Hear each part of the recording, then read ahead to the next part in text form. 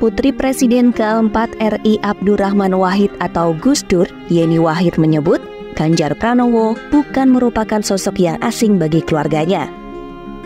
Ia pun menjelaskan tujuan Ganjar Pranowo menemui ibunya, Sinta Nuria. Sebagai informasi, kedatangan Ganjar saat itu bertepatan dengan peringatan hari ulang tahun atau Haul Gus Dur.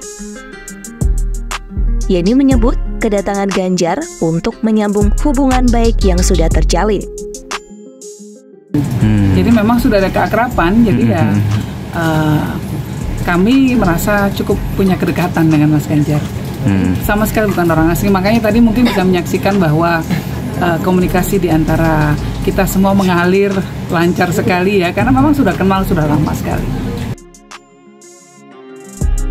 Yeni juga mengatakan ia sempat bertemu dengan Ganjar saat berada di Provinsi Jawa Tengah. Menurut Yeni, silaturahmi kali ini berjalan sangat cair. Dalam pertemuannya dengan Ganjar, Yeni mengaku tak ada obrolan soal Pilpres 2024. Diketahui sebelumnya, Ganjar Pranowo mengunjungi Sinta Nuriyah dan Putri Gus Dur Yeni Wahid. Pertemuan itu berlangsung sekitar 1 jam 30 menit, yakni sejak pukul 19.30 waktu Indonesia Barat hingga pukul 21 waktu Indonesia Barat. Thank you.